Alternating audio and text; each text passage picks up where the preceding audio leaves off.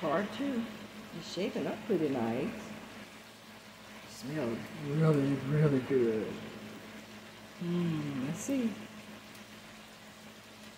Stay tuned for part three. Okay, that's the finished product. It smells darn good. Yeah, I got my little green grape on the side. Now, the big test would be tonight will I get up and you hear the potato chip bag opening. Yeah, I like potato chips.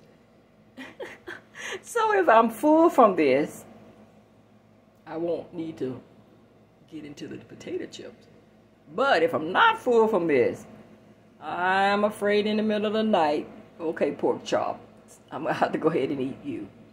But I'm just trying it. Let's do a dish of vegetables today. Let's see how it goes.